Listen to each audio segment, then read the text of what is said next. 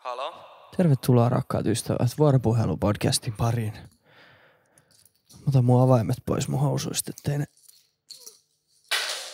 kilise kolise. Mm. Hyvää tiistaita kaikille. Tai jos se ei ole tiistai, kun sä kuuntelet tän, niin hyvää päivää. Mm, jos te olette YouTubessa, niin te näette, että mulla on crazy uusi tukka. Pienen projektin takana. Siis mä, mä sellaisin TikTokkiin joskus, en mä tiedä, kuukausi sitten ehkä. Sitten siellä tuli vastaan semmonen TikTokki, missä jonkun suomalaisen jäbän päähän maalataan semmonen lintu. Sitten mä ajattelin, että vittu on crazy. Sitten mä vaan ajattelin, että mä kommentoin siihen, että mäkin haluun siihen TikTokkiin. Ja sitten se Mimmi, Mimmi, kun oli tehnyt sen tukan, niin vastasi siihen mun kommenttiin, että anytime. Sitten mä vaan ajattelin, että okei okay, joo, blä, blä, niinku whatevs.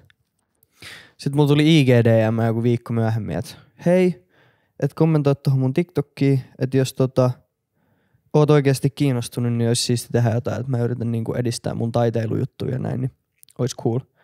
No mä olin heti, että totta helvetissä. Tämä Mimmi asuu kolme ja puolen tunnin bussimatkan päässä. Mutta sitten me sovittiin päivä, joka oli siis eilen. Me sovittiin päivä, mä olin päivän tässä toimistolla, tai aamupäivä ja aamun tässä toimistolla tekemässä hommia. Ja tota, sitten mä menin joskus puoli viisi, ei, neljä aikaa mä menin himaa. Että mä voin niinku leikkaa mun tukaa ja bleachaa se ennen kuin toi tyyppi tulee maalaamaan mun päätä, että se olisi valmiiksi niinku blondi. Ja tota, mä kävelin himaa ja siinä oli, ovessa oli lappu, että, tai ensin mä näin siinä työmiehet, meidän kadulla oli joku hemovitun pumppuauto ja kaivinkone ja mä olin, että ai niin, että tuolla on joku putkiremppa. Sitten meidän siinä ulko-ovessa oli lappu, että no vesikatko kello 13.30 asti. Mutta kello oli joku 16.30, 15.30 ehkä. Mä ajattelin, että no se vesikatko nyt on ollut ja mennyt. Mä menen himaan, leikkaan tukan seitsemän milliseksi, isken bleachin päähän. Sitten mä aina levitän nää tota, vaalennusaineella niin nämä tukan reunat silleen niin kuin paljalla sormella, kun on paljon tatsimpi kuin vetää semmoisella hanskalla. Mä vedin ne ja sit mun sormi oli ihan bleachis ja mä avaan hanan ja hanasta kuuluu ja ei tuu mitään. Sitten mä ajattelin, että ei, ei, ei vittu. Tää ve- täällä on vesikatko käynnissä vieläkin. Sen piti loppua siis puoli kahdelta, mutta ei. No, sit mä tekstasin täällä Mimmillä, se oli siis matkalla mulla. Mä tekstasin, että hei, täällä on vesikatko ja mulla on bleachi päässä, mut, mut kyllä sä voit tulla, että kyllä, kyllä, mä, niinku, kyllä mä keksin jotain, että se varmaan menee ihan just päälle, että se piti 13.30 loppuun ja kello on nyt kuitenkin neljä jo, niin se menee varmaan ihan just päälle. Sitä tyyppi tuli ja jauhettiin siinä paskaa, tutustuttiin vähän niinku ja jauhettiin mukavia. Sitten se vittu vaalennusaine oli ollut mun päässä joku varmaan tunnin. Mun päänahka kirveli, sattu. Sitten mä yritin samaan aikaan tutustua tässä niinku uuteen ihmiseen. Samalla kun mun silmistä vuotaa vittu kyyneliä. No, vettä ei tuu. Mä menin nettiin katsoa se vesikatkoilmoituksen HS nettisivuilta näkee, niin siellä luki edelleen, että noin ö, työt loppuvat noin kello 13.30. Mutta sitten se luki, että riippuu työn etenemisestä. Saattaa loppua aiemmin tai myöhemmin. Tässä vaiheessa kello oli jo niinku varmaan viisi, ehkä vähän yli. Sitten mä olin, ei vittu. No, mun frendi asuu kilometrin päässä musta. Mä soitin sille, what's up, oiks himas? Joo, joo, pelon pleikkari. Sitten Mä, joo, mulla on, mulla on täällä ulkopaikkakunnalta tullut mimmi mun kämpäs yrittää maalaa mun päätä. Mulla on vaalennusaine tukas ja täällä on vesikatko käynnissä. Mä tuun sulla ja suihkuu. Se, joo, se, selvä. Ei tarvi ottaa omaa pyyhettä. Täältä löytyy. Sitten mä hyppäsin vaalennusaine päällä, voi, voin päällä. Vaalennusaine pääs voin päällä. Ajoin sen viisi korttelia kilometrin, about kilometrin matka. Pring, rinkutan kaveri. Moro, pääseekö mä suihkuun? Joo, totta kai. Kävin suihkussa. Ajoin voin kanssa takas himaa. Sitten me ruvettiin maalaa. Me tehtiin siis blondiin tukkaan mustal tämmönen lohikäärme, mikä alkaa mun niinku vasemmanpuoliselta ohimolta, sit menee päälaelle ja sit häntä tulee tänne oikeanpuoliselle niinku reunalle. Mitä siinä olisi mennyt aikaa? Varmaan joku puolitoista tuntia, pari tuntia ehkä. Sillä, että kello alkoi olla niin kuin ilta. Sitten saatettiin vaikuttaa vielä se 40 minuuttia se musta väri ja ei tule vieläkään vettä. Sitten mä että ei saatana, kävin netistä katsoa, niin se lukee, että vesi palautuu noin kello 22. Olemme luonneet väliaikaisen vesipisteen jonkun ja jonkun kadun kulmaan. Sitten mä nyt vittu voi mihinkään väliaikaisen vesipisteen. Tuolla on neljä astetta lämmintä. Mä mennä sinne pesää tukkaa, kun siellä on lapsiperheet hakemassa vettä. Sitten me siinä pohdittiin hetkiä ja päätettiin, että mennään Alepaa ostaa vettä. Ja tuosta on puolentoista litran pulloa joku neljä kappalet ja kaadetaan mun päähän, niin kyllä me sillä saadaan ne pesty. Mä en jaksa ajaa voin kanssa nää mun friendilla. No, mä kävelen kauppaan ja totta kai kaikki puolentoista litran vesipullot on myyty. Kun kaksi punavuoren korttelia on ilman vettä, niin totta helvet, jos ne on myyty pois. Sitten mä ostan puolen litran vesipulloja, kuusi kappalet. Ainoat vesipullot, mitkä oli, niin oli siellä saatanan kylmäkaapissa. Eli ne oli jääkylmiä. No, sit mä menin himaa. Mind you, mä en siis se selittänyt, että tapahtui eilen maanantai. Ja mä olin viimeksi bleachannut mun tukan perjantai, koska mä masennus, ahdistus, öö, impulssipäissäni keksin, että mun on pakko saada lauantaiksi Halloween-keikalle Halloween-tukka, niin mä bleachasin sen ja sitten me maalattiin siihen hämähäkin seitti. Niin perjantai mun tukka oli viimeksi valkastu ja sitten maanantai mä vaalensin se uudestaan. Eli mun päänahka on, se on tällä hetkellä, jos sitä katsoo vähänkään läheltä, niin se näyttää vittu räiskäleeltä. Anyway, jääkylmää vettä, kuusi puolen litran pulloa. Mä seison sortsit jalas, suihkus pääsille etukenossa ja sitten tää Mimmi, jonka mä oon tavannut neljä tuntia sitten, kaataa jääkylmää vettä mun vitun räiskäleen näköiseen päänahkaan. Se oli ihan kamalaa. Mut saatiin, saatiin värit pois ja tästä tuli kyllä ihan vitun leija. Täytyy niinku sanoa. Tuli niinku ihan vitun leija. Hei. Ja sovittiin heti, että kolme neljä viikon päästä, kun tää on taas kasvanut yli, niin sitten tehdään uudestaan jotain siistiä. Joo, siis perjantai viimeksi mä valensin mun tukan ja mä oon vähän semmonen ihminen, että sit kun, tota, sit kun mä saan jonkun idean, mitä mä haluaisin testaa, vaikka mä tietäisin, että se on huono idea, niin se ei niinku jätä mua rauhaa ennen kuin mä testaan se idea. Esimerkiksi sama kävi silloin, kun mulla tuli idis, että vois, vois testaa väriä tukan mustaksi. Silloin kun mä värjäsin kaikki eri vihreät ja pinkkiä ja keltaisia ja sinistä ja muuta. Mulla tuli idea, että vois väriä tukan mustaksi. Mä tiesin välittömästi, että se ei ole hyvä idea. Mä tiesin heti, että se saa mut näyttää vaan kalpeammalta, koska mä oon tosi vaalea. Niin sit kun on tumma musta tukka, niin näytän vittu narkomaanilta. Mut se ajatus palloili mun päässä kuukauden ajan about. Mä olin silleen, että vittu mä oon testannut kaikki, varmaan kaksi kuukautta. Mä oon testannut kaikki mahdolliset eri värit mun siiliin, kyllä mut pitäisi mustakin testaa. Ja... Sitten mä värisin sen musta ja 3,7 sekuntia sen jälkeen, kun mä astuin suihkusta ulos, mä tajusin, että tää oli ihan vittu huono idea. Ja sitten meni varmaan päivä tai kaksi, niin mä vittu bleachasin mun tukan mustasta takas blondiksi. Jos te joku päivä näette mut kylillä ilman päänahkaa, niin mind your motherfucking business, koska niin saattaa tulla käymään vielä joku päivä. Niin, niin koska mä oon ihminen, joka kun saa jonkun idean, niin ei pääse siitä yli.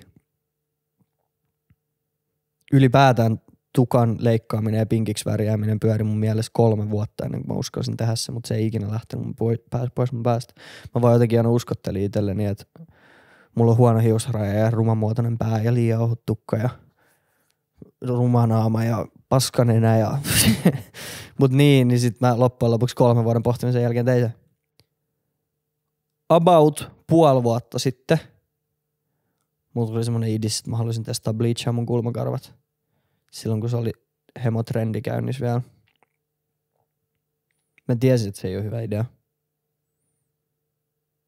Mutta mä en saanut sitä pois mun päästä.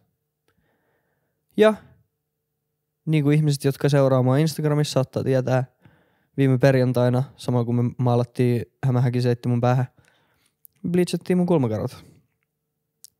Ja se oli ihan vitun huono idea. Yksi huonoimmista y- yksi huonoimmista ideoista. Mulla on niin syvät silmäkuopat. Mulla on niinku legit, kaikki ihmiset, jotka on meikannut mua, niin valittaa siitä. Mulla ei esimerkiksi mun ripsi on tosi hankala niinku taivuttaa, koska se vitun ripsi taivutin ei yltä mun ripsiin, koska mun silmäkuopat on joku 12 senttiä mun pääkuopan sisällä. niin.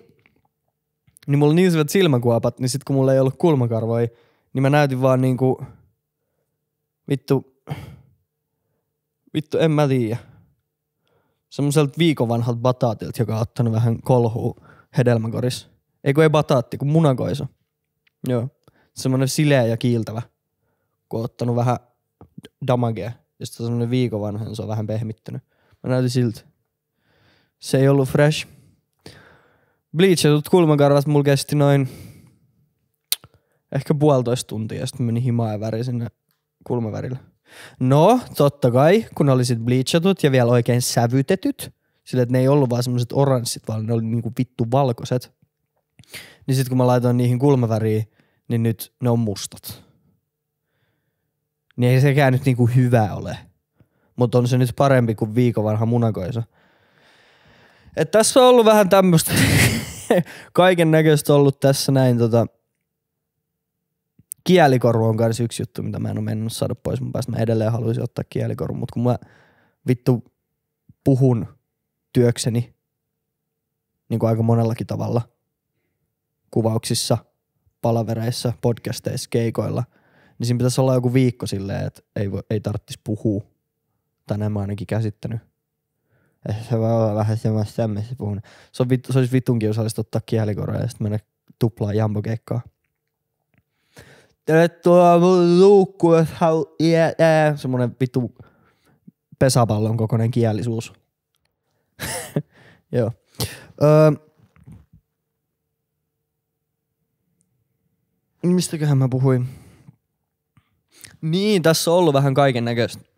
Musta tuntuu, että aina kun, aina kun mun mielenterveys järkkyy, niin sit mun lifeista tulee tämmöistä vitu impulsiivista riehumista. Mm. Mulla oli ehkä elämäni rankin about viikko. Tuossa pari viikkoa sit. Mä sain eräs perjantai tapahtui niinku paskon juttui, mistä mä olin niinku surullinen ja vihainen samaan aikaan. Ja sitten oli perjantai ja kun se asia raukes ja mä olin niinku suuttunut, niin sitten aika, aika tuttuun tapaan niin lähdin sitten ryypylle. Lähdin purkamaan sitä vitutusta ja ärsytystä öö, alkoholilla. Ja sit mulla menikin jatkoilla kymmenen asti seuraavaa aamua. Ja sit kun mä heräsin himasta, en mä tiedä voiko niitä kutsua yöuniksi, kun mä nukuin niinku päivän. Mutta mä heräsin himasta ja sitten asia, mikä oli tapahtunut, mikä oli ärsyttänyt ja vituttanut mua, niin sitä pääs purkamaan, käsittelemään ja selvittämään. Ja se ei ollutkaan niin vituttava asia, vaan se oli enemmän vaan surullinen asia. Niin totta kai se tuntui vielä pahemmalta, koska oli darra. Mutta sitten mulla tuli semmonen niinku, mulla tuli vaan semmonen fiilis, että vittu, tuossa ryyppäämisessä ei ole niinku mitään järkeä. Että niinku, et eilenkin mä menin, siis ei eilen, vaan silloin mä ajattelin, että eilenkin mä menin niinku juomaan alkoholia vaan siksi, että mulla oli paha olla. Siis olisin mä varmaan muutenkin mennyt, vai jos, jos mitään ei olisi tapahtunut ja mulla ei olisi ollut paha oloa, niin me oltiin jo muutenkin suunniteltu, että mennään ulos. Mutta siinä vaiheessa, kun tapahtui paskaa ja mulla tuli paha olo, niin silloin sen alkoholin käytön ainoaksi tavoitteeksi tuli purkaa sitä pahaa oloa pois. Ja niin kuin varmaan kaikki fiksut ihmiset tietää, niin se paha olo tulee seuraavan päivään ihan samalla tavalla, ellei jopa pahempana backiin. Niin sitten mä olin siellä, että vittu tässä ei ole mitään järkeä, että nyt, nyt loppu. Niin sitten mä olin koko sitä seuraavan viikon juomatta tippaakaan. Tämä saattaa kuulostaa ihmiselle, joka käy silloin tällä ulkoa, niin kuulostaa siltä, että wow, vittu, ei ole viikon ryppäämät, mutta mun suvussa on alkoholismin, al, al, alkoholistigeeniä. Mun elämäntyyli on aika menevä ja sitten sen lisäksi mä teen töitä muun muassa mun friendin keikka johon sisältyy aina ilman, ilmaiset keitot, jos sitä haluaa. Plus me ollaan klubeilla töissä heittämässä keikkoja, missä ihmiset bilettää. Niin se on tosi usein hauska olla myös mukana bileissä. Plus sitten on vielä semmoisessa asemassa, että kutsutaan tosi helposti erilaisiin tapahtumiin ja juhliin ja näin. Niin anyway, tapahtui paskaa. Mä purin oloni ahdistustani, vitutustani, ärsytystäni, vihaani viinaan ja päihteisiin. Ja sitten mä tajusin, että vittu, että, tähän, että nyt niinku on tultava muutos. Ja sitten mä olin sen koko seuraavan viikon selvinpäin. Ja se oli vielä semmoinen viikko, että meillä oli tiistain keikka, missä olisi ollut ilmaiset keitot, jos mä olisin halunnut. Keskiviikko oli meidän friendin bändin synttärit, missä olisi ollut ilmasta viinaa, jos mä olisin halunnut torstai Boa Music vei meidät syömään Stefan Steakhouse vapaa-albumin julkaisun kunniasta, kunniaksi. Ois ollut ilmasta viinaa, jos mä olisin halunnut. Vedin pihvi vittu ilman punaviiniä ekaa kertaa vuosiin, join pepsimaksia. Ja sitten perjantai oli taas keikka. Ois ollut ilmasta viinaa, jos mä olisin halunnut. Ja sitten lauantaina oli tämän meidän showroomin, tämän missä mä äänitän näitä podcasteja nykyään meidän työhuone kautta showroomi – niin oli tämän avajaiset, missä oli varmaan tässä 44, jossa oli parhaimmillaan varmaan 50 ihmistä sisällä samaan aikaan ja sitten parikymmentä lisää tuossa pihalla. Ilmasta viinaa, jos mä olisin halunnut. Ja mä olin selvinpäin kaikki nuo tapahtumat. Niin viikko selvinpäin ei kuulosta pitkältä, mutta kun siinä oli tommosia, että hei, mä heitin keikan selvinpäin. Yleensä mä ennen keikkaa aina vähintään kaksi bisseä. Ihan vaan sen takia, että saa vähän polvet löysäksi. Mä heitin keikan, kaksi kappaletta keikkoja selvinpäin. Mä olin niinku bileis, missä mä olin täysin vieraana selvinpäin. Mä olin yksis bileis, missä mä olin vähän niinku hostaamassa selvinpäin. Ja sitten mä olin niinku pihvidinnerillä, missä kaikki muut joi punaviiniä ja mä söin kanssa pihviä selvinpäin. Ja se oli hyvä tommonen, että hei, nämä kaikki tapahtuvat oli, oli tosi mukavia. Eikä mun tarvinnut olla kännissä. Okei, se meidän showroomin avajainen täytyy kyllä myöntää, että mä olin ainoa ihminen selvinpäin siellä, paitsi yksi frendi oli myös, mutta se ei ole ryypännyt vuosiin, niin se on tottunut siihen. Mutta täytyy kyllä sanoa, että se oli niinku semiahdistava kokemus. Tai ehkä se, että kun sä juttelet sun friendin kanssa ja huomaat, että se on niinku sekasin. Ja sit sä oot silleen, että vittu sä oot tyhmä. ja siis mä en nyt tissaa ketään mun frendiä, koska mä oon ihan yhtä tyhmä kännissä. Ja sitten jos mä olisin kännissä, niin mä en ajattelisi tietenkään, että vittu sä oot tyhmä. Mutta sitten kun on itse selvinpäin ja toinen tulee kännissä selittää tai, niin sitten on silleen, broidi, mä en jaksa kuunnella. Niin sitten se oli ehkä se ahdistava juttu. Että aluksi mä olin täällä, mä olin aluksi silleen, niin täällä oli vaan puoltuttuja ja tuntemattomia, jotka ryyppäs ja mä olin selvinpäin, niin se oli vähän semmoista, kun mä oon muutenkin sosiaalisesti aika ahdistuva ihminen, niin se oli vähän semmoista, öö. Sitten mun frendit tuli, sitten mä olin silleen, että hei, selvinpäin bilettäminen on hauskaa mulla on friends, mulla on kaiken näköistä. Ja sit mun friendit alkoi olla kännis ja poukkoilee ympäri paikkaa, juttelee erilaisille ihmisille. Ja sit, sit mulla iski taas semmonen ahdistus, että vittu mulla on niinku ulkopuolinen ja yksinäinen olla. Mut muuten koko viikko oli ees. Pihvi oli hyvää Pepsi Maxinkaan, keikat meni hyvin selvinpäin. Mä kyllä huomasin, että herra jestas mun käsi täris öö, ekan biisin jälkeen. Siis mulla oli Red Bulli sillä lavalla, mulla, koska yleensä mulla on aina mulla siideri tai bisse sillä lavalla. Että mulla on jotain, mitä voi hörppiä. Mulla oli Red Bulli. Sitten me tultiin Ine, oli vielä tullut vapaa-albumi, toi Jambo uusi albumi, niin siinä on se ö, eka biisi Miltsi. Niin me tullaan sillä nykyään Ine keikoilla. Ja se on vitun bangeri. Hemoadrenaliini, Miltsi, niin wuu, sit kun biisi loppuu, niin mä otan Red Bullin käteen ja mun käsi täris legit niin paljon ja mun motoriikka oli niin päin helvettiin, että mä, mulla oli niinku vaikeuksia saada tähdättyä sitä tölkkiä mun suuhun. Et mun piti tulla niinku suun kanssa periaatteessa vastaan ja catchaa se tölkki, että mä sain otettua herpy siitä, koska mun niinku kroppa oli niin sellaisessa tilassa. Varmaan sen takia, että mä olin niinku ekaa kertaa täysin vesiselvänä keikalla niinku muutamaan kuukauteen. Ekaa kertaa muutamaan kuukauteen niinku. Mut joo, huomasin kanssa siellä bileissä sen, että vittu joka ikinen mun frendi paitsi Jami yritti tulla mun silleen, että no pitäisikö sun, pitäisikö sun nyt kuitenkin, pitäisikö sun nyt kuitenkin ottaa. Et ei, ei taaskaan siis mitään pahaa mun ketään kaveria kohtaan, mutta huomaan kyllä, että suomalaisessa kulttuurissa ei niinku alkoholittomuutta arvosteta ihan kauheasti. Jami nyt on ollut puolitoista vuotta selvinpäin just vähän aikaa sitten, niin se, se ymmärtää sen, niin se ei tota, se ei sanonut mitään. Ja sitten viime viikon, olin viikon selvinpäin, siis arkipäivät, tai siis juomatta mitään. Sitten perjantaina, ai niin ja sitten tuolla viikolla, kun oli kaikki nuo tapahtumat, niin vielä sen Boa Musicin Stefans dinnerin jälkeen me mentiin mun friendin kanssa Siltaseen, missä oli Rare-klubin 6V-synttärit ja räppikeikkoi. Ja sitten mä olin Siltasessa katsomassa räppikeikkoja juomassa nollakaljaa. Ja tanssin ta, mä muistan, mä seisoin siinä mun friendin kanssa siinä niinku tanssilattian reunalla. Tai ei siellä ole mitään tanssilattia niinku selkeät, mutta siinä on semmoinen pieni alue, missä jengi tanssii. Mä seisoin siinä reunalla ja mä silleen, että vähän, vähän tanssittaisi kyllä, mutta vitsi, mä oon vähän niinku, vähän liian itsetietoinen ja self-conscious tanssimaan tällä hetkellä. Mä että hetkinen, mun kaveri on juonut sen lasin punkkuu dinnerillä ja neljä bisseä. Jos mä olisin juonut ton verran, niin mä tanssisin tällä hetkellä. Mä oon sama ihminen kuin se äijä, joka on juonut ne neljä bisseä, mutta se äijä on vaan juonut neljä bisseä. Mutta mulla, mulla on samat muuvit, mulla on sama tietotaito tanssimisesta, niin miksi mä en tanssis? Ja sit mä vaan olin että fuck it, ja sit mä rupesin two Ja se oli jotenkin vapauttava tilanne vaan tajuta se, että vittu ketään ei kiinnosta. Mulla oli nolla, nolla haineken kädessä. Se näyttää siltä, että mä juon bissää. Ei kukaan tiedä, onko mä kännis vai en.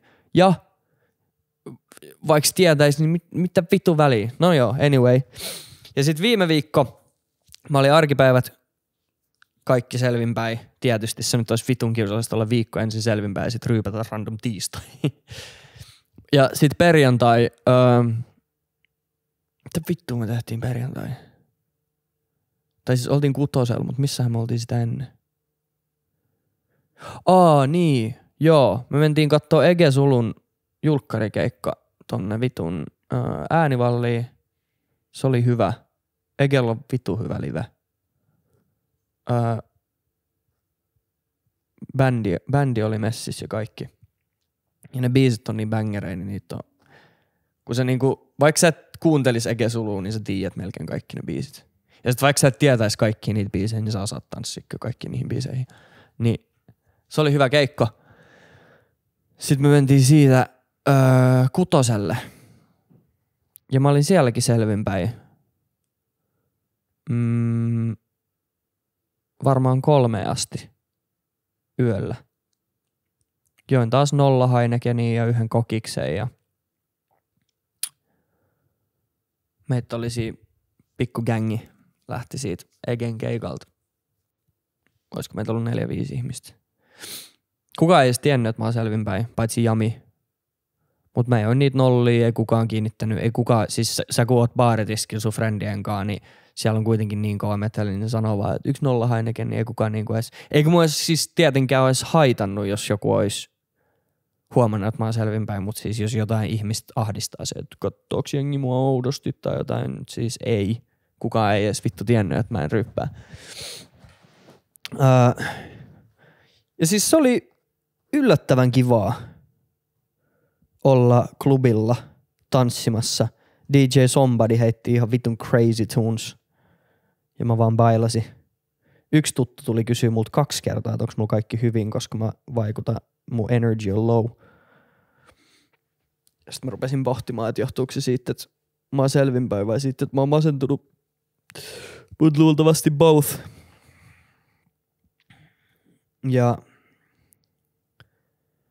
Ää, joo, mut sit lauantaina, tänä viikonlopun lauantaina, me oltiin kankaan päässä keikalla Halloween lauantai. Ja meillä oli, Frendi oli mukana. Ja sitten mä päätin, että no vittu perkele, että, että otetaan nyt muutama bissi. Sitten mä otin muutaman bissi, mä siis selitin sen itselleni silleen, että, että mä yritän vähän niinku päästä irti tosta tommosesta siitä oletuksesta, että a, nyt on viikonloppu, täytyy käydä ulkoa stadis. Tai vaikka kävisi ulkoa, että täytyy vetää perseet. Mä yritän vähän niin kuin päästä semmoisesta stadi oletusryppäämisestä, että pyöritään kylillä ja vedetään pääjäähän ja naula päähän ja joka viikonloppu. Että se ei olisi semmoinen oletus. Ja sitten mä myin sen jotenkin itselleni silleen, että no me ei olla stadis, me ollaan kankaan pääs. Nyt on Halloween. Meidän frendi on messis pitkästä aikaa meidän kanssa keikalla – niin mä otan vähän pisseä. Ja sit mä olinkin ihan vitun kännis. Kaaduin esimerkiksi keskellä tanssilattiaa. Se ei nyt ollut mennyt kännin piikkiin, se meni vaan sen piikkiin. Et se oli siis, vittu se oli, se, siinä oli niinku bäkkäri silleen, että tultiin suoraan lavalle. Sitten sä olit baariin, niin sun piti hypätä niinku siitä lavalta alas. Se oli ehkä semmonen metrin korkunen. Sitten siinä oli joku äijä seisomassa, se oli, että ei veti, heitti mulle handshakea. Mä hyppään samaan aikaan siitä lavalta alas, koita handshakea sitä äijää, liukastun bissellä täkköön ja selälleni keskellä tanssilattia kankaan pääs väkiluku 11 000, niistä varmaan puolet oli siinä tanssilattialla. Ei nyt oikeasti. Mutta siis kaikki näki. Sitten mun frendi seisoo siinä mun vieressä kattoo mua silleen, hups, ei auta, ei nosta. Mä koitan nousta siitä jotenkin silleen coolisti playoffassa silleen, vittu, vittu toi oli vähän noloa, tiiäks silleen self-conscious king. Sitten mä käännyin siihen joka koitti heittää se mulle sitä handshakea, niin se vaan katsoi mua ja kääntyi pois. se ei halunnut handshakea mua enää. Se oli ihan vittu nolo. Mut joo, mä en pistä sitä kännin piikkiä. Se oli vittu kaljalätäkkö, kaljalätäkkö tanssilattialla piikki.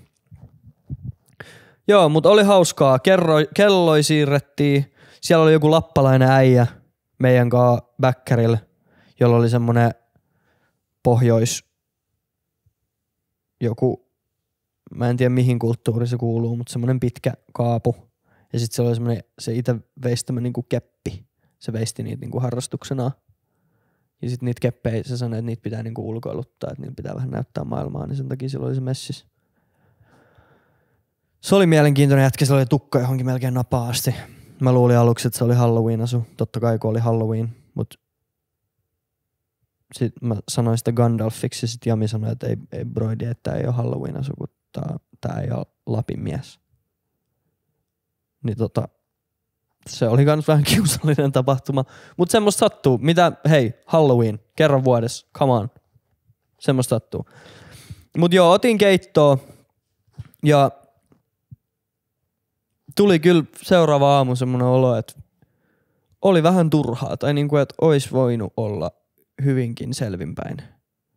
Ja kyllä mä nyt ajattelin taas, että et mä oon nyt selvänä for an undisclosed time.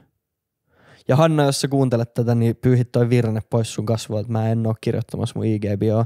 Sober curious, ainakaan vielä. Mutta tota, en mä tiedä, mä vaan tajusin sen, niin kuin silloin, kun se, se asia, mikä tapahtui silloin se sinä eräänä perjantaina, kun mä lähdin ryyppäämään suruun, niin se ei ollut mikään, mikä tapahtui vaan niin kuin sinä päivänä ja koski vain sitä päivää, vaan se on asia, joka on nyt niin kuin vaikuttanut mun mielialaan ja mun elämään siitä lähtien. Viimeiset kaksi viikkoa on ollut oikeasti ehkä yksi mun elämäni hankalimmista viikoista. Mutta sen huomasi jo siinä niinku No 14 päivää mä olin niinku juomatta lauantaista lauantaihin. Niinku kaksi viikkoa lauantaista lauantaihin. Ää, ja vit, siis vitsi sen huomasi jo siinä, että niinku oon mä nyt edelleen masentunut ja oon mä nyt edelleen ahdistunut ja jossain tilanteessa ahdistuneempi, kun mä oon ainoa selvinpäin oleva ihminen bileissä, mut mm, sen huomasi että kuinka paljon se vaikuttaa mielenterveyteen. Vaikka sä ryppäisit vaan sen kerran viikossa, niin sul menee, niinku, sul menee koko seuraava viikko siihen, että sä palaudut siitä. Vaikka sulla ei olisi fyysisesti darra, niin se vaikuttaa sun mielialaan. Ja sitten sä vedät keittoa taas, niin sit sä oot niinku jatkuvasti semmoisessa palautumistilassa. Ja sitten pahimmillaan, jos vetää tolleen, miten mä vedin, että oot kymmenen asti seuraava aamu jatkoille, niin oot kaksi päivää darras, kolmantena päivänä oot vähän ahdistunut vielä, neljäntenä päivänä sä oot silleen, ei perkele, ja sitten viidentenä päivänä sun kroppa on silleen, että jaha, nyt tarvitsisi taas keittoa. Niin, vittu, niin. Sitten mä kuuntelin Andrew Hubermanin jakson alkoholista. Jos joku ei ole kuunnellut, niin kannattaa kuunnella Andrew Hubermanin, se on vittu loistava äijä.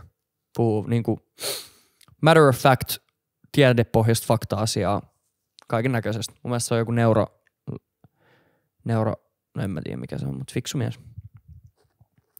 Niin se sanoi, että ihmiset, jotka käyttää pieniäkin määriä alkoholia, se sanoi, että silleen, että vaikka yksi juoma päivässä ruoan kanssa tai 4-6 juomaa viikonlopussa, että vaikka sä olisit ihminen, joka ryppää vaan viikonloppuisin, niin se aiheuttaa sun aivokemias niin kuin, oota, oliks ne noin, about joo, niin kuin muutamankin juoma viikonlopussa voi riittää, niin se nostaa sun aivojen kortisolin eritystä. Kortisoli on niin kuin stressihormoni. Se, se on niin kuin se, mikä säätelee sun stressitasoa. Niin se nostaa sun kortisolin eritystä sun baselineissa. Eli silloinkin, kun sä et ryyppää tai kun sä et ole kännissä, niin sun aivot välittää enemmän kortisolia. Eli se on niinku ihan selkeä juttu, että sä oot ahdistuneempi, sä oot stressaantuneempi, jos sä käytät säännöllisesti alkoholia. Ees semi pieniäkin määriä. Niin sit toi oli kans semmonen, mä kuuntelin se varmaan kaksi tai kolme kertaa sen podcasti sillä vähän niinku taustamusana sen kahden viikon aikana, kun mä olin selvinpäin ihan vaan niinku tuomassa semmoista lisämotivaatiota, että broski, nyt vittu pidetään huolta itsestämme. Sitten mä kävin salillakin kolme kertaa viikon aikaa. Ehkä se kaikki, mitä, mikä, mitä niin kuin tapahtui, mikä ajoi mut näihin kaikkiin juttuihin, niin oli myös semmoinen silmiä avaava kokemus, että mun on pakko niin kuin, mä en voi vaan olla se jäbäko silleen, että no mä nyt oon masentunut ja mä nyt oon ahdistunut ja mulla nyt on traumoja ja mä nyt tykkään vähän liikaa vetää keittoa. Ei se mene noin, kun jossain vaiheessa on kuitenkin pakko ottaa niin kuin vastuu. Ja nyt mä musta tuntuu, että mä oon pikkuhiljaa vähän ottanut itsestäni vastuut tämän pari viikon aikaa. Niin kuin muullakin tavalla kuin ollut juomat alkoholia. Mä oon herännyt aikaisemmin, mä oon käynyt salilla. Sekin on vaikuttanut ihan selkeästi, kun mä olin juomatta niin kuin pari viikolla tai niin kuin pari viikkoa. Niin se vaikutti ihan selkeästi, että mä olin virkeämpi aamuisin, oli helpompi nousta sängystä.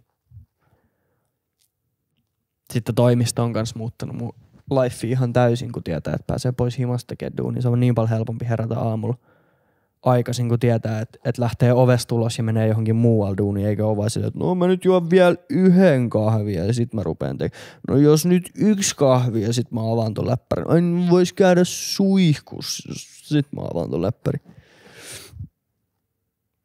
Mut joo. Ai niin joku halusi, että mä puhun pre-keikka, niinku keikka-ahdistuksesta. No tässä mä nyt vähän puhuin siitä. Kädet tarras niin paljon, että ei saanut Red Bullia mein, saada suuhun. Meinannut saada, vittu mitä mä nyt sönkkää. Ei meinannut saada Red Bullia suuhun, kun kädet tarras niin paljon, mutta siis joo. Kyllä mulla on aina ennen keikkaa semmonen, mä oon tosi kova jännittää kaikkea. Niinku kaikkea. Vaikka mä en, vaikka mä en jännittäisi niinku mielessäni mitään mä, pyst, mä, mä oon tosi hyvä rationalis- rationalisoimaan asioita ja selittää itselleni kaikki, niin ei mulla niinku ikinä ole aivoissa mitään semmoista panikkia, että apua, mitä jos näin, tai mitä jos noin, tai mitä jos mä en osaa, tai mitä jos mä osaan, ja mitä tää ja mitä toi ja mitä tää. Vaan mun jännitys on enemmän niinku vaan fyysistä. Mä tunnen sen mun mahan pohjas, mä tunnen niinku perhosi mahas, mulla tulee öö, mä hikoilen, mä tärisen, mulla punottaa posket, musta tuntuu, että mun kurkussa niinku pala. Tämä tapahtuu ennen keikkoja. Nykyään vähän vähemmän, kun mä oon tottunut siihen, mutta kyllä ne edelleen tulee noin fyysiset oireet, ne ei tule vaan niin pahana kuin ennen. Ennen ne tuli niin pahana, että musta tuntuu, että ne oli niinku, niinku crippling. Että mä, en niinku, että mä en pystynyt handlaamaan niitä. Kaikki niinku julki, ihmisten edes puhuminen ja tommoset on ollut mulla tosi vaikeita juttuja ennen palaverit, duunipalaverit, missä on monta ihmistä kerrallaan, on ollut mulla tosi hankalia. Välillä niin kuin mä oon joutunut pitää puheenvuoroja ja mun on niin kuin ollut vaikea oikeasti niin kuin saada sanaa tulee ulos mun suusta. Ja se on hullua, koska mä en ikinä mielessäni panikoi tai mielessäni yliajattele. Tai mä, mä en, se on niin kuin mulle ihan selkeää, että mä selviin tuommoisista tilanteista. Mä oon hyvä artikuloimaan – keikoilla ei mun DJ-vehkeet mene paskaksi yhtäkkiä siinä. En mä unohda, miten levy soitetaan yhtäkkiä siinä. Ei mulla ole niinku mitään konkreettista, mitä mä, mikä mua ahdistaa tai mitä mä pelkään tai mitä mä jännitän. Mutta ne fyysiset jännityksen oireet on ihan vitun sairait mulla ollut. Si- siihen on helpottanut. Podcastin tekeminen on helpottanut, YouTube-videoiden tekeminen on helpottanut, keikkailu on helpottanut – kaikki vaan, missä niin kuin pakottaa itsensä niin kuin pois omalta comfort zoneiltaan, niin helpottaa aina noihin juttuihin. Mutta joo, kyllä mulla, ky, niin kuin sanoin, niin kyllä on yleensä tapana ollut ottaa se kaksi tai kolme bisseä ennen keikkaa vähintään. Sitten jos on tiedätkö semmoinen, että meillä on lauantai-keikka, joka on Tampereella ja mä haluan lähteä siitä jatkaa vielä bailaamista, niin siitä on voinut ottaa vaikka seitsemänkin kaljaa ennen keikkaa. Kun ei se levyä soittaminen on niin kauhean hankalaa, vaikka se olisikin pienessä Twitterissä. Mutta kyllä sekin on semmoista itselääkitsemistä siihen omaan ahdistukseen, mikä ei ole välttämättä kauhean fiksu juttu. Musta tuntuu, että aika moni, no siis alkoholismi on Suomessa aika iso ongelma ja suurin osa siitä vois, voidaan melkein varmaan laittaa niin kuin itselääkitsemisen piikkiin. Ihmiset koittaa just lääkitä niitä omia ahdistuksia jännitystiloja, epävarmuuksia sillä, että ne ottaa vähän keppanaa. Mutta nykyään siitä, siitä keikka-ahdistuksesta on alkanut niinku tykkäämäänkin. Koska on ollut pari keikkaa silleen, että se ei ole niinku jännittänyt yhtään etukäteen.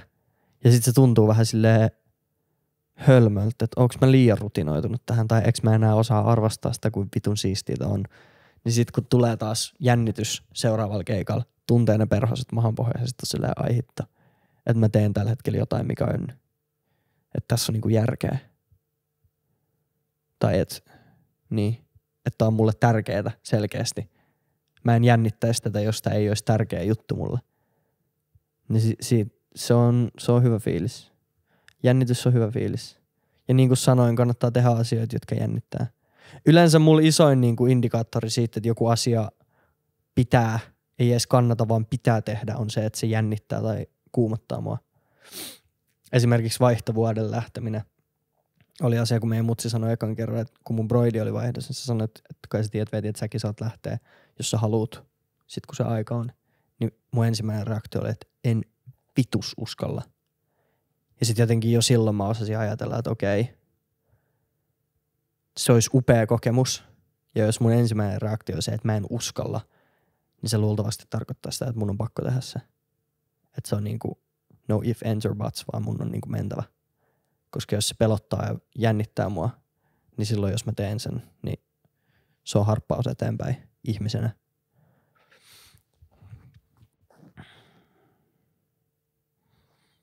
Joo.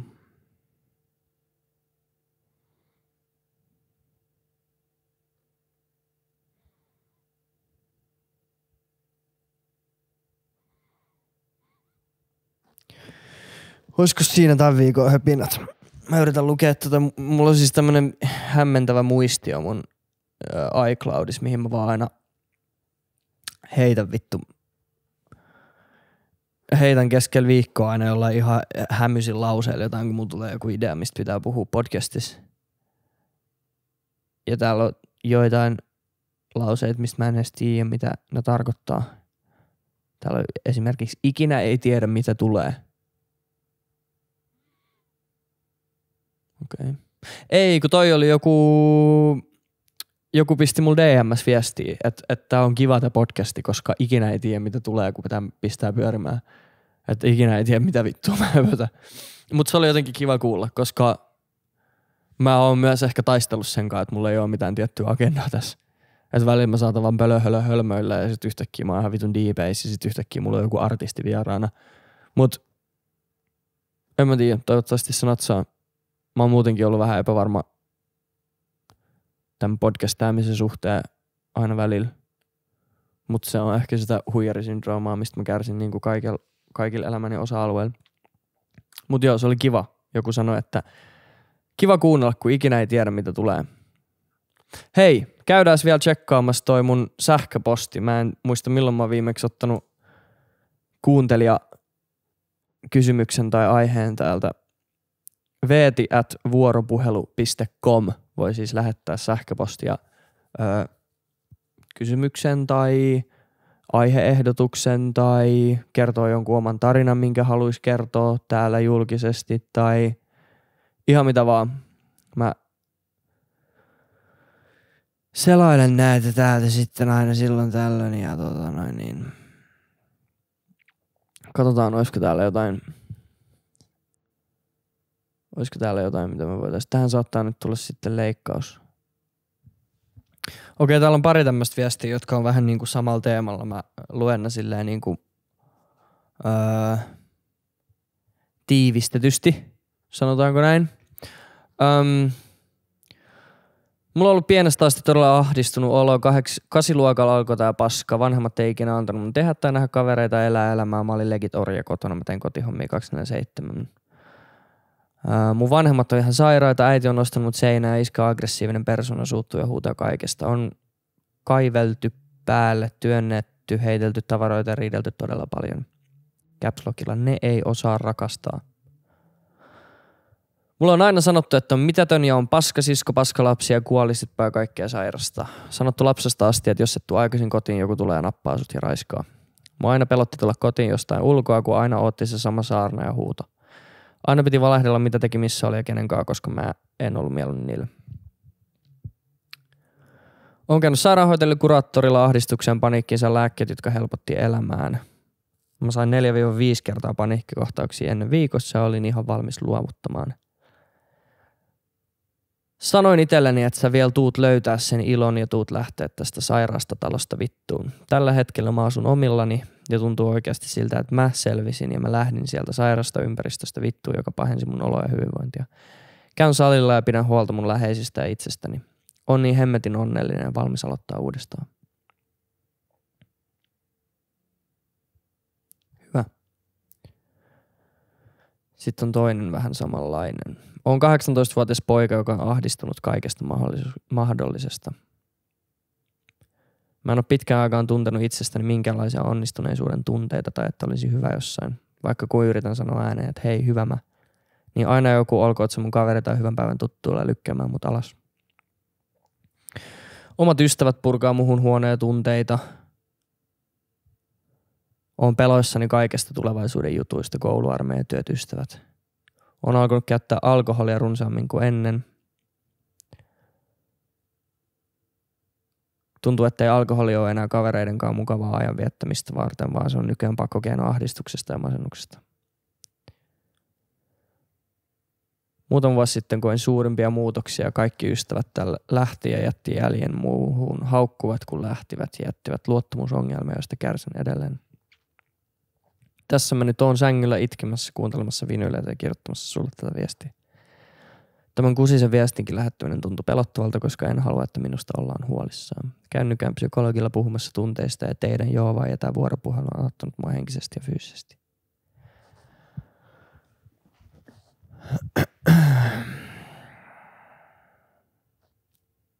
Ensinnäkin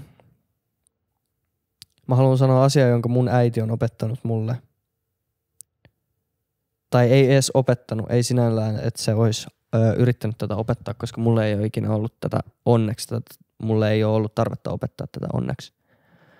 Mutta hänen hän, hänen oli selviytyäkseen pakko oppia tänä, tämä, ja kun me ollaan puhuttu mun äidin kanssa hänen elämästään, niin ymmärtääkseen häntä pitää ymmärtää se, että tämä on asia, mikä hän joutuu oppimaan, ja se on se, että se on ihan vitun sama, kuinka verisuku joku on sulle. Ihminen voi olla synnyttänyt sut omasta, ihminen on voinut luoda sut oman vartalonsa sisällä ja synnyttää sut. Mutta sille ei ole väliä, koska kusipää on aina kusipää. Se on ihan sama, onko se sun vanhempi, onko se sun sisarus, onko se sun serkku, onko se sun mummi. Jos se on kusipää, niin se on kusipää.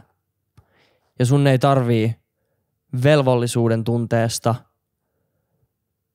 huolen takia, sosiaalisten normien takia tai sen takia, että vaikeat perhekuviot on hankala selittää uusille ihmisille, jotka sä tapaat. Sun ei tarvii mistään syystä pitää sun elämässä ihmisiä, jotka satuttaa sua, on toksisia tai ei ota sun tunteita tai sun parasta huomioon.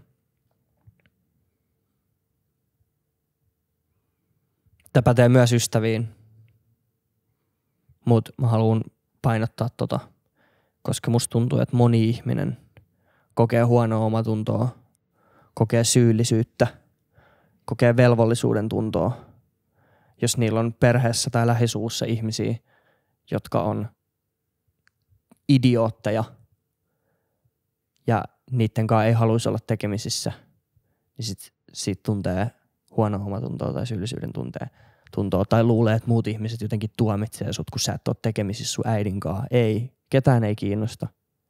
Ihmisiä kiinnostaa se, että sulla on hyvä olla. Ja jos niitä ei kiinnosta se, niin sit niitä, niidenkään ei tarvi olla sun elämässä. Se on ensimmäinen asia.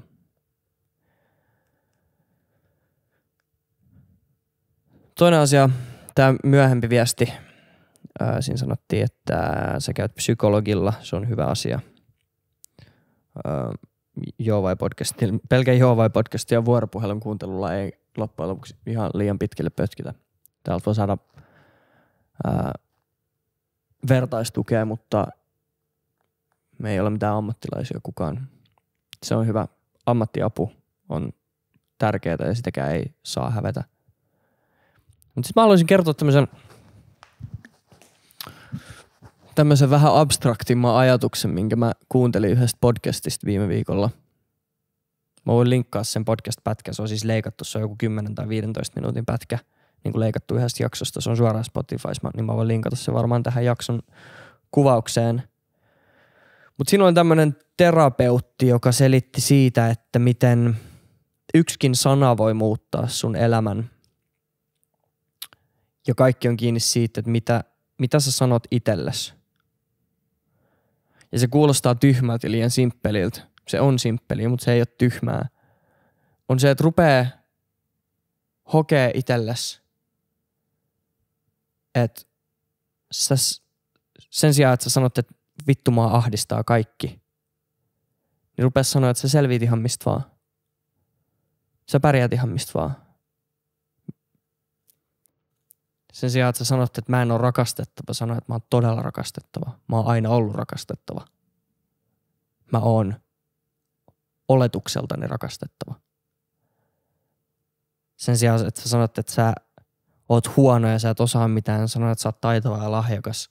Sen sijaan, että sä sanot, että sua pelottaa tulevaisuus, niin sano itsellesi, että vitsi kuin siistiä, että mulla on vuosi edes näin paljon.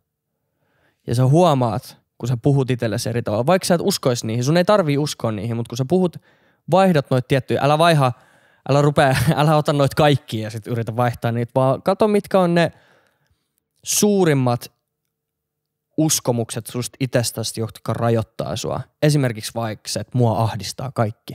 Tai mä en ole rakastettava. Tai mä en riitä. No on yleensä sellaisia asioita, mitkä on niinku niitä niinku pääsyitä, mitkä jarruttaa ihmisiä elämässään, niin eti tommonen ja muuta se. Mä en riitä, mä oon tarpeeksi. Mä en oo rakastettava, mä oon rakastettava. Ja hoe sitä niin kauan, Että sä rupeat vähän niin kuin kohtee, kohtelee itseäsi vähän niin kuin saisit joku muu. Sä niin kuin uskottelet itse itsellesi, että sä oot jotain. Koska sä oot. Se on vaan väärä narratiivi, minkä muut ihmiset ja sun traumat ja läheiset ja, ja myös sä oot itse luonut itsellesi. Mä en nyt selitä tätä läheskään niin kauniisti ja hienosti kuin se terapeuttinainen siinä podcast-pätkässä, mutta jos yhtään joku sai kiinni tosta tai kiinnostaa toi ajatus, niin mä linkkaan sen tohon, tohon alle, niin voi käydä kuuntelemassa. Se ei ollut kuin joku vartin pätkä. Mä oon kuunnellut sen nyt varmaan neljä tai viisi kertaa. Sitten tulee tosi jotenkin semmoinen voimaantunut olo, kun sen kuuntelee. Kun sä tajuut, että joo, paskaa tapahtuu maailmassa ja elämä on epäreilua ja ihmiset on kusipäitä, mutta loppujen lopuksi sulla on voima päättää sun elämästä ja sun hyvinvoinnista ja susta itsestäsi. Näihin kuviin ja tunnelmiin mä pistän tämän podcastin nyt vittu eetteriin ja hyppään tuohon tietokoneen. Mulla on editointihommaa taas sen verran, että, että, että. Se on kyllä siis yrittäjänä, yrittäjänä mielenterveysongelmien kanssa kamppailu on vittu dänkein dänkkiä, mitä, mitä maailmasta löytyy. Niin kuin sanoin, elämäni ehkä yksi hankalimmista viikoista ollut tuossa takana, niin tota, sit kun, sit kun on itse itsensä pomo ja pitäisi saada asioita tehtyä ja kukaan ei ole ruoskimassa sua niin kuin duunaamaan kuin sä itse, niin siinä vasta sitten sillisoppa on. Mut fuck it, we ball. Kiitos kun kuuntelitte ja nähdään taas, nähdään taas sitten öö, tossa joskus. Kiitos.